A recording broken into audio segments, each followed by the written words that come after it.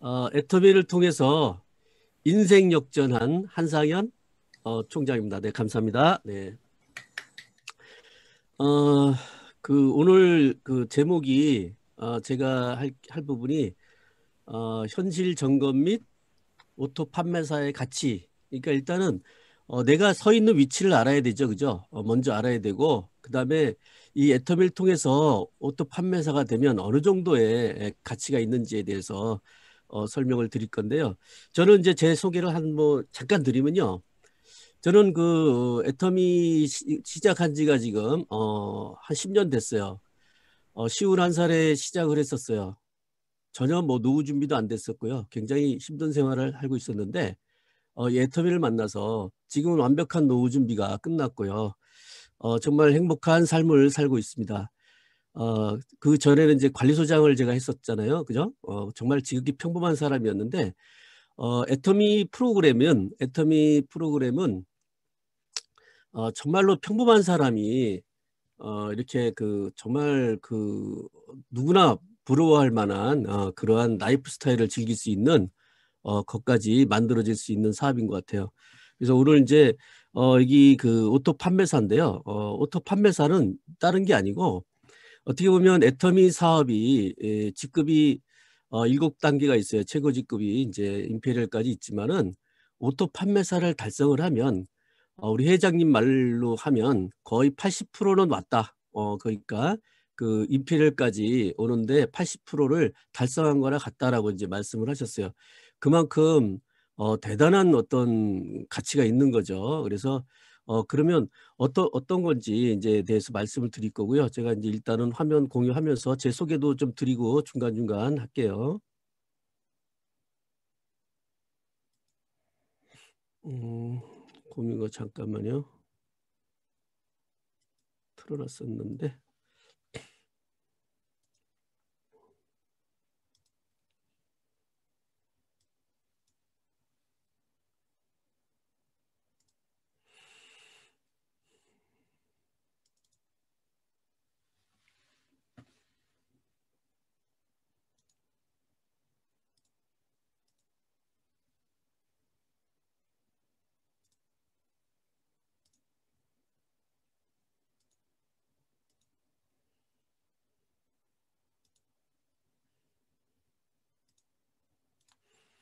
네, 공유가 됐죠? 잘 보이나요? 네, 잘 보입니다. 네, 네, 네.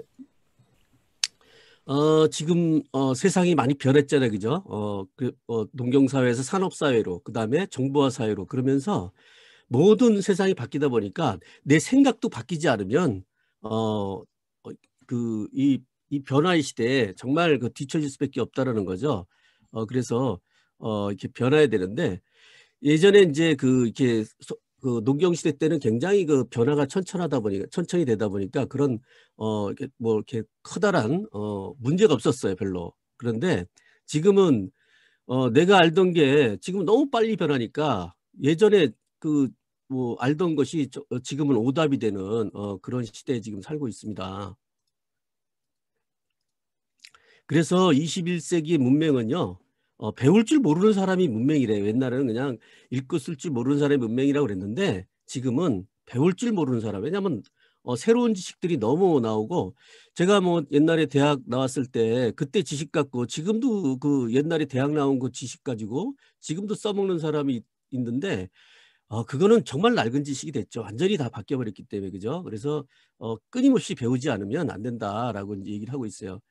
그리고 어, 또 더군다나 지금 이제 이런 어, 세계화, 소련이 붕괴되면서 어, 세계화라는 그러니까 그 완전히 그 어, 모든 어, 진짜 무한 경쟁의 시대에 돌입을 하게 됐죠. 그러다 보니까 강자의 시, 시장 원리만 어, 따르는 어떤 어, 그런 세계가 됐어요. 그래서 그러다 보니까 어, 특히 이제 기업 같은 경우 특히 이제 문제가 되는 게 어, 전 세계에서 뭐 가, 장 좋은 품질의 제품을 가장 싸게 공급하지 않으면 어, 안 되기 때문에 그 비용 일단은 뭐 저렴하게 팔려고 하면 좋은 품질의 제품을 저렴하게 팔려면 하면 어, 제일 비용을 줄일 수 있는 부분이 인건비예요, 인건비. 그러다 보니까 어, 그런 문제가 이제 발생을 하죠. 그래서 어, 자꾸 이제 선진화되면서 미국도 서, 자꾸 선진화되면서 제조업이 퇴화하는 게 왜 그러냐면 인건비가 너무 비싸니까. 그게 일본으로 가고 그다음에 다시 한국으로 와서 지금 저희도 이제 선진국화 되다 보니까 인건비가 너무 비싸다 보니까 대부분 다 이제 베트남이나 어 그다음에 중국, 인도 이렇게 지금 일자리들이 다뭐뭐 반도체라든가 뭐 자동차라든가 이런 회사들이 전부 다 일, 일자리가 그쪽으로 이동하다 보니까 어떻게 보면 어 그 그런 근본적인 구조적인 문제 때문에 일자리가 없는 거예요. 저희가 청년 실업이 이게 심각한 이유도 어 지금 그런 일자리들이 없어지고 대부분 뭐 아르바이트나 이런 일자리들밖에 없죠. 아니면 뭐 식당에서 일하거나 알바로. 그러다 보니까 좋은 일자리들이 나오질 않아요. 어. 그 대부분 옛날에 자동차 뭐 이렇게 어 뭐 거기서 근무하는 사람들도 그 그 보면 보통 만 7천만 원씩 받더라고 보니까 뭐 중산층이 다 중산층이 되는 사람들이고 그런 일자들이 많이 포진돼 있어야 또 어 그 거기에다 흡수되고 또 다른 데 일자리가 막 생기고 하는데 저희 때만 해도 굉장히 일자리가 많았었거든요. 근데 저희 대학 졸업할 때만 해도 그런데 지금은 정말 심각하잖아요. 그죠? 여러 가지. 그리고 그러다 보니까 또 더군다나 국가 경쟁력 그러니까 어 기업 경쟁력을 갖추려고 하면 노동의 유연성이 없으면 안 돼요. 그러다 보니까 뭐 여러 가지 그 지금 뭐 조기 퇴직하는 이유도 다 그런 원인이거든요. 어 그래서 좀 시대가 빨리빨리 변하니까 새로운 인재를 원하기도 하고 그래서 어 조기 퇴 뭐 퇴업 퇴 어, 퇴직도 해야 되고 뭐 그러다 보니까 이제 어, 이제 여러 가지 문제점이 발생을 하죠. 그래서 이제 어, 뭐 저도 베이비 부머 세대인데 저도 베이비 부머 세대인데 어, 저희 베이비 베이비 부머 세대들이 제일 고민이 많은 게 어, 예전에 일자리들이 그래도 좀 있었어요. 그죠? 기술이 발달되기 이전에 그 다음에 무슨 뭐 주차원이라든가 경비원이라든가 이런 일들이 좀 있어 가지고 어, 물론 급여는 적지만 그냥 이렇게 예, 하루 근무하고 그 다음날 등산 가고 막 이렇게 재밌게 그래도 할 수 있었던 일자리들이 좀 많이 있었는데 지금은 대부분 다 자동화되면서 뭐 일자리들이 싹 없어졌잖아요. 그죠?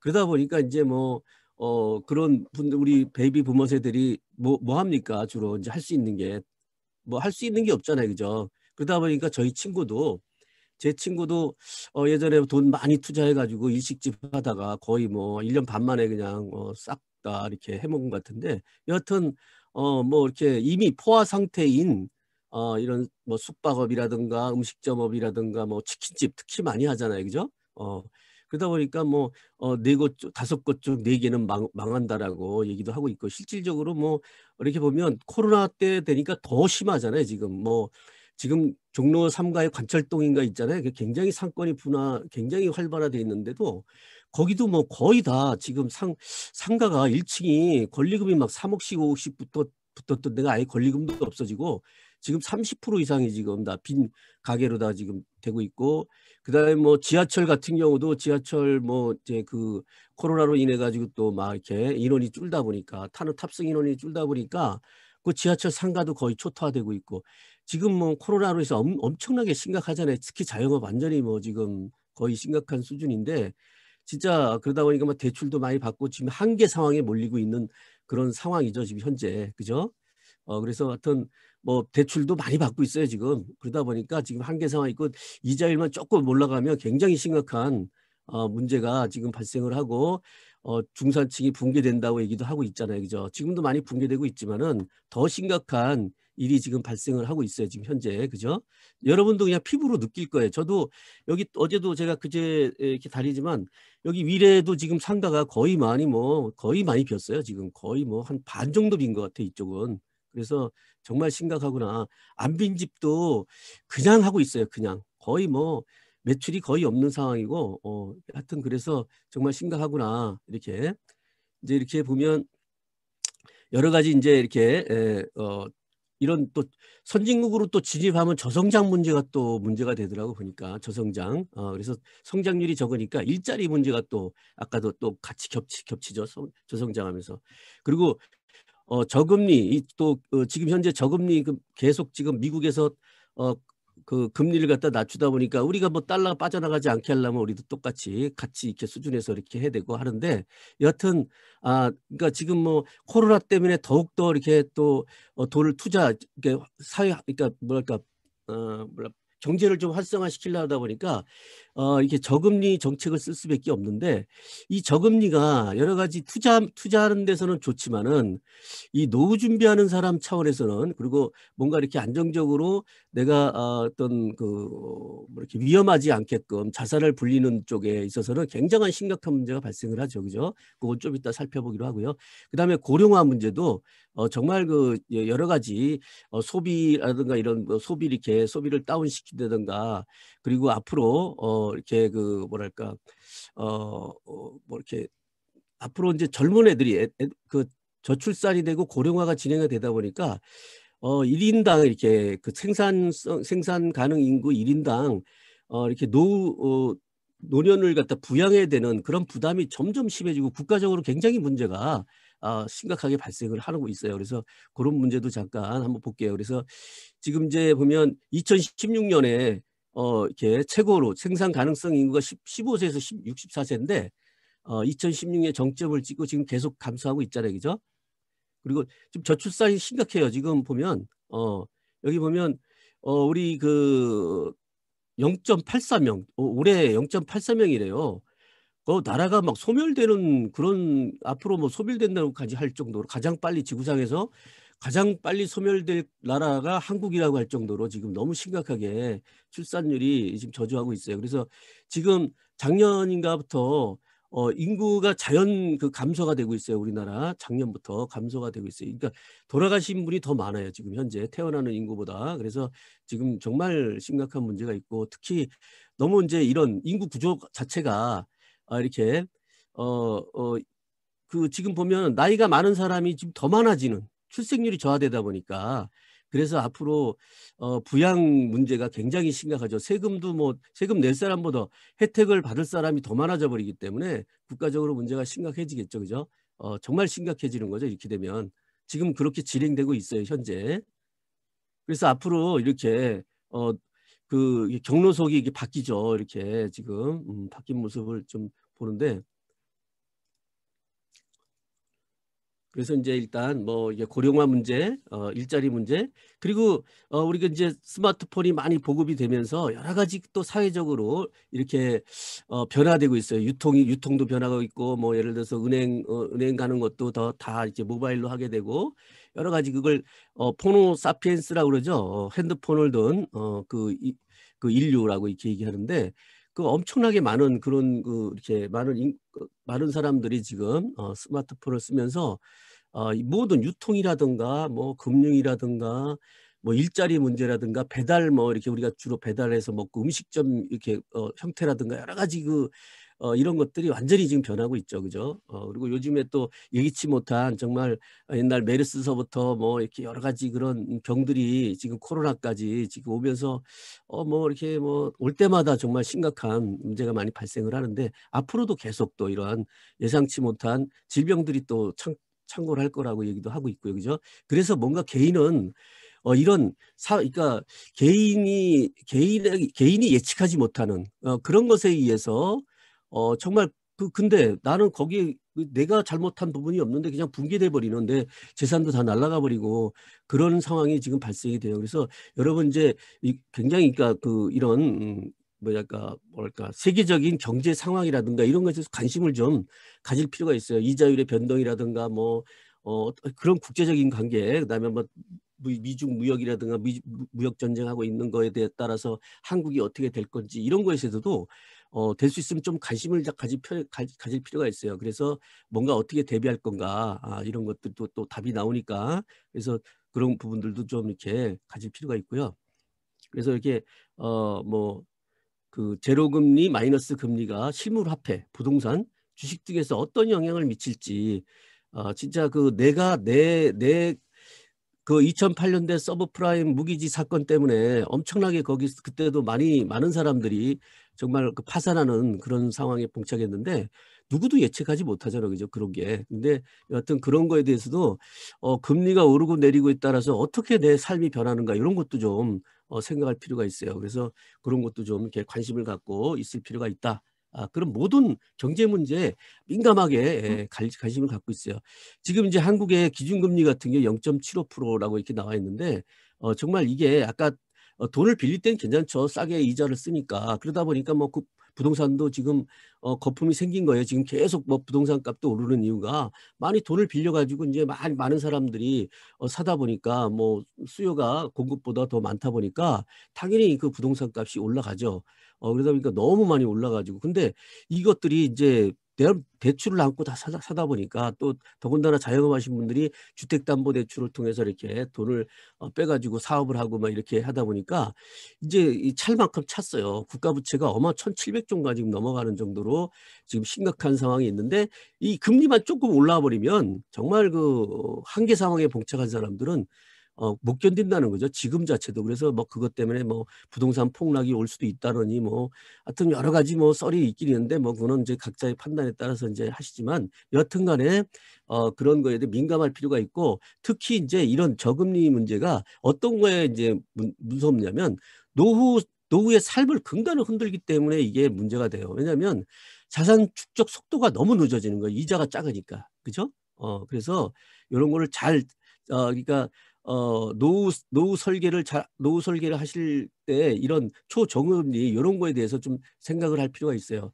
그래서 어, 1%일 때, 금리가 1%일 때 자산이 두 배가 되는데 70년이 걸린대요. 옛날에는요, 5%할 때는 14년 걸렸었거든요. 5%할 때 14년 걸렸었는데 지금 뭐 어, 4%할 때는 10, 14년이 아니고 18년이 걸리고 이렇게 자꾸 늘어져요. 퍼센테이지가 이렇게 낮아지면. 근데 결, 금리가 1%일 때 지금 1%대잖아요. 어, 그러니까 자산이 두, 두, 두 배 되는데 70년이 걸리니까 의미가 없다라는 거죠. 그러다 보니까 어떻게 해요? 그래서 자영업 하는 거예요. 그래서 여러분들이 그냥 위험하지만 자영업 하는 거란 말이죠. 돈을 내가 벌어놨어. 옛날에는 한 뭐 2억이나 10억이나 이렇게 어, 젊었을 때 벌어놨으면 노후 준비가 끝났는데 지금은 그러지가 못하고 그, 그, 그 돈이 그 뭐 이렇게 불릴 수 있는 게 안 되니까 어, 정말 어, 문제가 발생을 하죠. 그리고 어, 옛날에 이제 이자 같은 경우도 어, 1%대 지금 같은 경우는 12억 원이 12억 원이 있어야 100만 원이 나온대요. 12억 12억 원이 있어야 100만 원이 돈이 나오는 거예요. 100만 원 매달. 어, 그래서 정말 그런 돈이 뭐 저는 뭐 턱, 턱수 없었어요. 제가 51살 때 애터미 만나기 전에는 그런 어, 12억이 뭐야 지금 단돈 뭐 어, 몇, 몇백만 원도 없었어요, 주머니에. 근데 여하튼 뭐, 그래도 나름대로 이렇게 준비한 사람들이 있었지만 이 정도까지 준비한 사람은 많지 않거든요, 지금 거의. 그러다 보니까 보통 노후 생활비가 보통, 어, 이제 한 200만 원 정도, 어, 좀 넉넉히 하려면 300만 원 정도 있어야 되니까 뭐 300만 원까지 하려 그러면 거의 30억이 넘어야 된다는 뜻이고요. 그죠? 어, 내가 매달 200만 원을 가져가려면 매달 200만 원을 받으려면 20억 정도가 있어야 된다라고 이게 금융 소득으로 어, 그 정도로 어, 심각하죠. 그죠? 그래서 이제 살기는 오래 사는데 이제 제일 문제가 자산 소득을 비축을 해놔야 돼. 우리 지금 같은 세대에서는 어, 자산 소득이 정말 중요한 그런 시대가 됐어요. 어, 예를 들어서 노동소득은 우리가 어, 25살부터 어, 50살까지 이렇게 벌, 벌잖아요. 대부분 은퇴 연령이 지금 한 어, 평균으로 49세라고 얘기하니까 한 50살 뭐 또 더 뭐 이렇게 또 더 하더라도 조금 또 재취업을 하는데 그 돈이 팍 떨어져서 또 재취업을 하잖아요. 그죠? 어, 그 하여튼 뭐, 어, 첫 번째 은퇴 연령이 하여튼 보통 50세 이하예요. 그러면 25세, 25년 동안 벌어가지고 거의 이제 나머지 100세까지 살아야 되니까 지금 어, 50년을 갖다 이렇게 살아야 되는 거잖아요. 그죠? 그러니까 200만 원씩 필요하다라고 하면 어, 매년, 매달 25살 때부터 매달 400만 원씩 저축을 해야 그것이 가능하다는 얘기예요. 단순 계산하면 어, 400만 원씩 어, 25년을 저축을 할 사람이 누가 있어요 지금 그죠? 없잖아요 거의. 예, 그러다 보니까 어, 좀 말도 안 되는 얘기가 돼버리는데 여하튼 어떻든 간에 어떻든 간에 그런 돈이 필요하기 때문에 뭔가 어, 준비는 해야 돼. 어떠한 어떤 형태로든지 그거는 개인의 문제가 돼요. 국가는 책임 못 집니다. 국가는. 그래서 여러분 뭐 국민연금 같은 것도 들어두셔야 돼요. 그것도 그죠? 보통 어 뭐 애터미 하는 사람들은 안 들고만 하지만은 그래도 뭐 어, 어떻게 될지 모르는 거니까 세상 일이. 하여튼 국민연금 지금 평균적으로 어 지금 저도 계속 47만 원씩 보니까 내더라고 보니까 제가 내고 있는 게 벌써 한 20 몇 년 내다 보니까 제가 받는 돈이 한 80만 원 나오더라고요. 제가 65세 때 받는 게 예, 80만 원 나오는데 어 여튼 그런 거 어, 그 다음에 뭐 개인연금도 들어놓고 막 이렇게 해야 돼요. 어, 그렇지 않으면, 어, 문제가 심각하겠죠. 어, 근데 이제 애터미 하시는 분들은, 어, 이제 여기서, 어, 잘 마련하거든요. 저 같은 경우도 지금, 어, 그런, 어, 그 돈은 뭐 이렇게 크게 생각지 않아요. 지금 그 국민연금 크게 생각지 않는데 저는 이제 여기서 이렇게 어, 제 노후 준비는 거의 이제 끝났다고 지금 저는 생각을 하고 있어요. 그래서 아, 여하튼 이렇게 에, 뭐 넉넉히 생활하려면 319만 원이 필요하다고 얘기하잖아요. 그죠? 어, 그래서 이런 이런 것들이 어, 좀 필요하고 자꾸 이렇게 그 돈 없이 오래 사는 거는 정말 정말 고통이죠. 어, 그래서 많은 분들이 견디다 못해 막 이렇게 어, 자살률도 높고 우리나라 OECD 국가에서 자살, 자살률이 제일 높다 그러잖아요. 왜냐하면 국가에서 이렇게 주는 그런 것들이 다른 나라에 비해서 작아요. 우리가 아, 그러다 보니까 어, 좀 문제가 많이, 많이 있죠. 왜냐하면 저희가 자, 자원이라는 게 없어요. 자원도 없었고 우리가 늦게 출발했잖아요. 사실상 우리가 어, 다뭐 6.25 때 다 부서지고 식민지도 또 이렇게 있었고 그 시간들이 정말 그렇게 미래 지금 선진국처럼 어, 그런 복지를 갖다 이렇게 돈이 그동안 많이 있어서 복지를 이렇게 어, 그 생각을 할 수 있는 그런 시간들이 없었어요. 그러다 보니까 어, 정말 그 지금 아주 그냥 고통스러운 특히 더 저희가 낀 세대잖아요. 저희는 뭐 아, 자녀도 부양하지만 부모님도 부양하는 그런 어, 낀 세대라고 얘기하잖아요. 더군다나 요즘은 캥거루 어, 캥거루 이렇게 그족들이 많다고 얘기하잖아요. 그죠? 어, 그래서 여하튼 어, 뭐 파산 노인도 지금 많고요. 굉장히 심각하죠. 아까 뭐 7억은 택도 없고요. 하여튼 뭐 12억이 있어야 된대요, 지금. 그리고 또, 어, 뭐 4, 4차 산업혁명이 가속화됨에 따라서 여러 가지 또 변화가 많죠. 일자리 문제도 더, 더욱더 심각해지고, 이때는 일반 노동이 아니고, 노동은 옛날에 로봇가 대, 대체를 했는데, 예?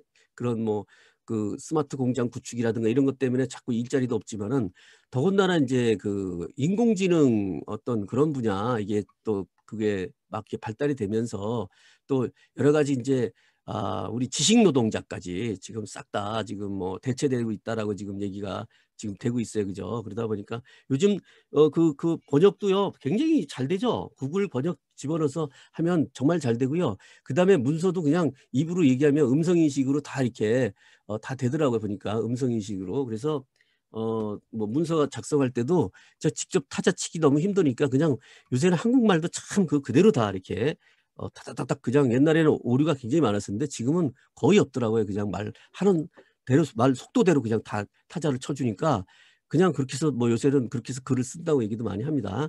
여하튼 많은 음, 일자리들이 사라지고 있어요. 어, 그리고 여기 지금 뭐 대표적으로 이렇게 많이 나왔는데 뭐 무인 공장 등장으로 뭐 이렇게 여러 가지 그다음에 하여튼 뭐 많은 기술 기술들이 많은 일자리들이 지금 사라지고 있고 또 이렇게 어, 오늘 어, 요새 11개 미국인 평균 11개 일자리를 거친데 평생이요. 어, 근데 앞으로는 200개, 300개 이렇게 거친다는데 하여튼 뭐 모르겠어요. 뭐 이렇게까지 진행될런지 어떤지 모르겠지만 하여튼 뭐 이렇게 어, 심각하게 어, 많은 그러니까 이 어떤 한 곳에 우리가 평생 직업, 평생 직장, 평생 직장은 없고요. 어, 평생 직업을 만들어야 돼 앞으로는. 평생 직업 평생 직업을 만들어야 되는데 그것이 어떤 거냐. 이제 여러분 이제 여러 가지 찾아보고 막 이렇게 고민해요. 근데 오늘 고민하지 않으셔도 되겠죠. 예를 들어서 어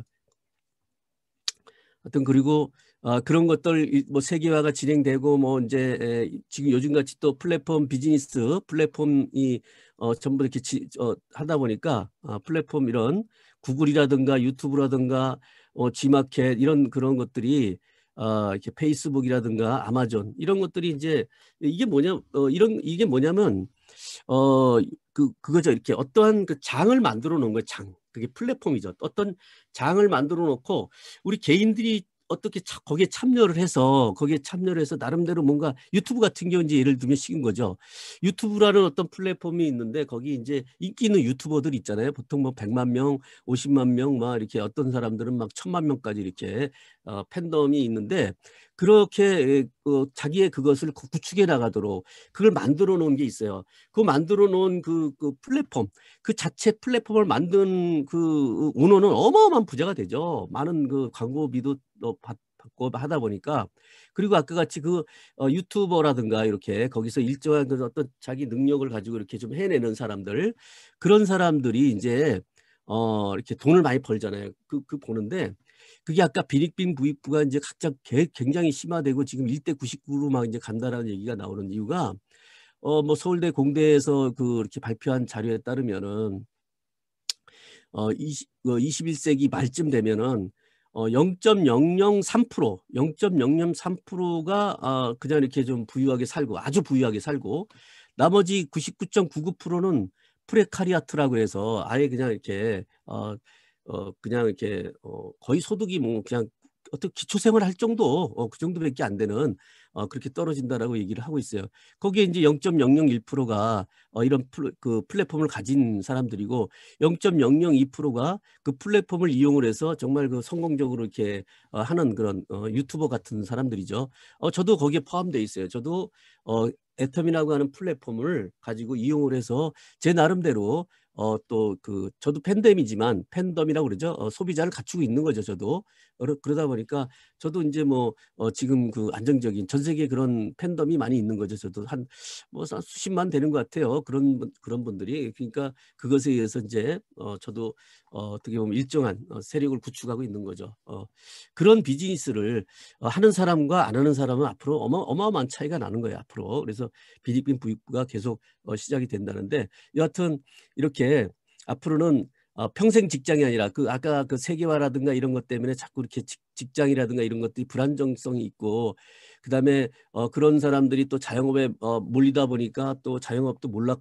지금 막 어, 그런 자료도 이렇게 포화 상태인데 그냥 자, 전부 다 힘들어지고 있는 상태잖아요, 그죠? 어, 그래서 그리고 또 노후 준비 예, 노후 준비 또이 자산 소득이 필요하거든요. 노후 준비는 자산 소득. 내가 자영업이나 일반 직장인은 자산 소득이 아니잖아. 노동 소득. 언젠가 노동이 중단돼요.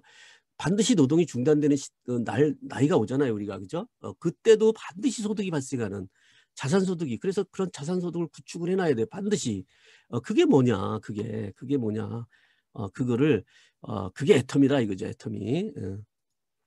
그래서, 어, 지금 이제 회사에서 이제 그동안 뭐 이사라도 있었고 막 이렇게 하신 분들이 이분들이 나오면 어린애요, 어린애. 예, 이렇게 보면 어린애처럼 이렇게 보이는데 아무것도 할 줄 모르는 거죠. 그, 그 안에서 조직 내에서는 인사부장 뭐, 어, 뭐 인사, 인사과장 막 이렇게 했지만은 나오면 그런 조직이 없고 자기가 차라리 목수가 나요, 목수가. 어, 목수가 훨씬 더 어, 이런, 이런 그 은퇴하고 나서는 훨씬 살아갈, 잘 살 확률이 높아요. 각, 자기가 갖고 있는 기술, 어, 그런 것들이죠.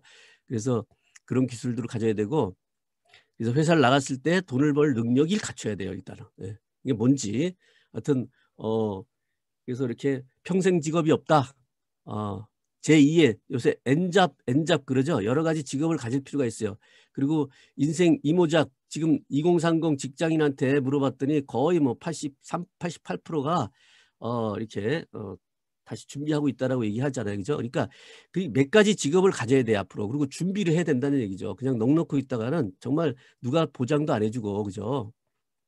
그래서 반드시 이러한 그 어, 제일 권하는 게 어, 이게 부자 아빠 가난 아빠 써야 되겠지만은 어, 시스템 소득이 중요하다. 자산 소득, 시스템 여기 비사분면에 있는 시스템 소득 그게 이제 네트워크 마케팅에서 어, 특별히 이제 특히 애터미 같은 회사의 어떤 그 안정적인 어, 그런 어, 어, 이렇게 생필품을 유통하고 있고 어, 어느 유통보다 어느 유통보다 가격도 품질도 좋고 가격도 싸고 이러한 이런 조건들 그 애터미처 회사처럼 그리고 또 그 교육 시스템이라든가 아, 본인이 혼자 능력이 없는 사람도 누구나 일반 서민도 접근하게 접근해서 쉽게 할 수 있는 그런 네트워크 마케팅 회사를 찾아서 반드시 그런 회사를 찾아서 해야 된다.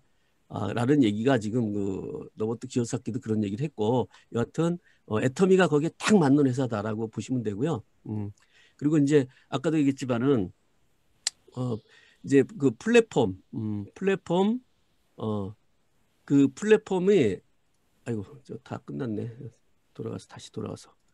그그 그 플랫폼이 앞으로는 이제 그런 플랫 플랫폼 그 플랫폼을 관련된 어, 그런 비즈니스가 다 뜨게 돼 있고 그래서 어떤 플랫폼을 갖고 내가 어, 이거를 어, 해야 되냐. 지금 저희는 이제 애터미는 유통 플랫폼이잖아요. 유통 플랫폼 제가 어제도 얘기했지만은 앞으로 어, 이렇게 이, 그냥 뭐 이렇게 어, 저희가 이제 장기적으로 보면 어느 어느 어느 유통 채널이 가장 소비자가 소비자에게 유익한가 이것이 정말 그 앞으로의 이 성장에 있어서 어, 그 보장을 해주는 거죠. 그게 어느 어느 유통 채널이 가장 소비자에게 유익, 하냐 예를 들어서 뭐 아마존이라든가 우리는 뭐 쿠팡이라든가 이런 때는 어떻게 싸게는 주지만 어떻게 돼요? 그게 다 그냥 다 흡수시켜 버리잖아요. 모든 그 자영업 다 망하게 하는 거고요. 솔직히 다 여러 가지 그 소득을 다 빨아가 빨아가는 구조로 돼 있어요. 결국은 다 이렇게 그 모든 돈이 그, 그 플랫폼 업체에 모이는 그런 구조로 돼 있기 때문에 소비자가 주머니에 비는 구조잖아요. 그죠? 어, 그게 낫겠어요? 아니면 소비자의 돈을 자꾸 채워주는 그런 유통 채널이 낫겠어요? 결국 어떤 게 그 승자가 되겠어요? 장기적으로 보면. 그래서 정말 그런, 어, 그런 플랫폼이 어떤 거냐. 이런 거를 정말 내가 이렇게 에, 앞으로 플랫폼을 플랫폼에 참여해서 플랫폼에 참여해서 뭔가를 만들어내 아까 유튜버처럼 반드시 뭔가를 만들어내지 않으면 여러분이 그러한 소득, 자산 소득을 가져갈 길이 없거든요, 실질적으로. 그래서 어, 저는 그래서 애터미, 애터미에 대해서 지금 말씀을 드리고 그것이 어 그래서 이제 애터미 그 어, 이런 꼭 해야 된다라는 말씀을 드리고 애터미에서 그러면 저기 오토 판매사라 그, 그 직급이 있는데 그게 이제 어느 정도의 가치냐 이런 거 어 지금 이제 한 어 미래 신도시 20평 상가 있잖아요. 20평 상가 이게 평당 한 5천만 원 했어요. 그래가지고 어 거기 어, 지금 한 12억 정도 그게 했었거든요. 옛날에 한 500만 원 정도 어, 월세를 예상하고 이걸 샀었던 거예요. 여기 샀는데 지금 비어 있는 데도 많지만은 그 비어 있는 데는 정말 치명적이죠. 그 돈 그 다 이렇게 대출해 가지고 했는데 관리비도 지금 못 내고 있는 상황인데 있는데 여하튼 그게 한 200만 원 나오는 거예요. 그러니까 12억 효과가 있는 거죠. 오토 판매사. 한 여기 제가 좀 있으면 제가 제 거 소득을 보여 드릴 텐데 그리고 약간 얘기했지만 은행에 20억을 넣어놔야 이런 그 소득이 나오는 거예요. 그리고 어, 공무원으로서 25년 이상 근무해야 이것도 공무원 연금액도 자기가 돈을 넣어야 돼요. 어, 자기가 돈을 넣은 거예요. 그냥 어, 그냥 국가에서 주는 게 아니고 그죠? 그래서 어, 이 정도 돼야 뭔가 이렇게 한 200만 원 정도 이렇게 나오는데 애터미는 어떤 거냐? 이게 보시면 제가 첫 판매사를 이제 다 달성한 게 어, 2011년도 해가지고 어, 제가 사, 사, 부업으로 4개월 만에 제가 판매사가 됐어요. 첫 판매사. 이때는 오토 판매사가 아니죠. 그런데 오토 판매사가 언제 됐냐면 사업 시작 12개월, 12개월 후 완벽한 오토 판매사가 됐어요. 한 번도 그전에도 오토 판매사가 있지만 한 번 빠진 거 다 빼버렸어요. 무조건 오토로 내가 간 거부터 출발해서 딱 행동하니까 2011년도 12월부터 제가 완전한 오토 판매사가 됐어요. 그래서 이 소득을 보니까 어, 2012년도 이렇게 340만 원이 됐죠. 이때부터 이거는 뭐 이 여기까지만 가도 되지만 이 애터미 오토 판매사 가치는 뭐냐면 이게 장기적으로 기하급수로 성장한다는 거예요. 기하급수로. 어.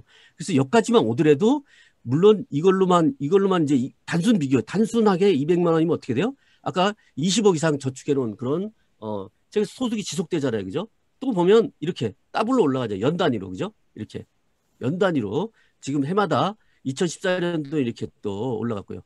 2017년도는 2,500으로 올라갔고요. 2019년도는 2,700, 2020년도 6월 달에 3,200, 2020년 12월 달에 작년 코로나 한창 진행될 때 3,200이 넘었잖아요. 그죠? 어, 이렇게까지 가능한 게 오토 판매사예요. 오토 판매사. 이렇게까지 진행될 수 있는 가능성 있는 게 무한 확장이 할 수 있는 가능성 있는 게 오토 판매사고요. 제가 이제 2019년도 소득이 3억 2천이었고요. 2020, 어, 2020년도 코로나 때는 3억 5천으로 늘었잖아요. 우리가 그죠? 어, 소득이 오히려 늘었어요. 이렇게. 어. 이거 저는 실사례로 보여드리는 거죠. 그러다 보니까 이렇게 제가 뭐 카니발도 갖고 다녔던 사람이 이러한 정말 어, 꿈에 꿈꾸던 어떤 어, 벤츠 S 클래스도 갖고 다니고 이런 집에서 살던 사람이 제가 지금 현재 여기 어, 송파에 40평대 아파트 지금은 이게 뭐 금액으로 따지면 한 20억 좀 21억까지까지 지금 올랐다고 얘기하는데 하여튼 뭐 부동산에서 전화 갖고 어뭐 뭐 얼마냐 물어봤더니 어 21억 한다고 그러길래 깜짝 놀랐어요 저는 어, 어마어마하게 지금 이제 비익빈 부익부가 아니라 재산을 이렇게 넣어놓으니까 올라가더라고요. 이게 제 소유예요. 그러니까 지금 저는 아무것도 없었던 사람이잖아요. 그죠? 이런 라이프 스타일도 어, 즐기고 있게 이렇게 예. 정말 어, 정말 꿈 같은 생활을 제가 하고 있는데 여하튼 어, 이 그 제가 뭐 아까 그 얘기한 어, 그 오토 판매사, 오토 판매사가 어 이러한 어 그 아까 노후 준비라든가 우리가 제 인생 이모작에 어떤 그 준비할 때 가장 그런 단순한 그런 준비도 되지만 이렇게 확장성이 있는 어 가능성이 있기 때문에 저가 무슨 뭐 특별한 능력이 있어 갖고 제가 이렇게까지 올라온 건 아니거든요. 정말 평범한 사람들의 프로그램이에요. 그러다 보니까 아 이렇게 그런데 이렇게 확장성이 있어요. 그래서 여러분한테 정말 오늘 오늘 오신 분들 뭐 정말 그 이게 지금 조금 어렵다고 이렇게 포기하거나 절대 그러시면 안 됩니다. 어떤 어 끝까지 예, 해서 이렇게 성공하시길 바랍니다. 네, 오늘 강의 여기서 마치겠습니다. 감사합니다.